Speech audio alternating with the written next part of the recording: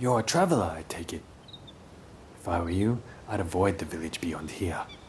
Bandits have moved. I came all this way to peddle my wares, but it's left me in a bind. The checkpoint's just up the road, too. How on earth? If you're determined to go, then take this with you. It should serve to distract the bandits at least.